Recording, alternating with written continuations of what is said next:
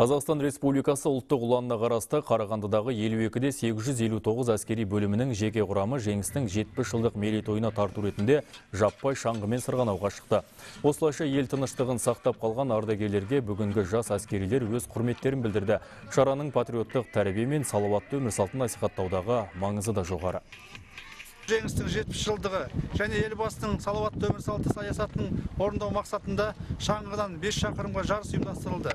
Жауынгерлік және командалық дайындықтың негізгі мақсаты жеке құрамның физикалық моральды психологиялық және жауынгерлік білімін көтеру болып саналады.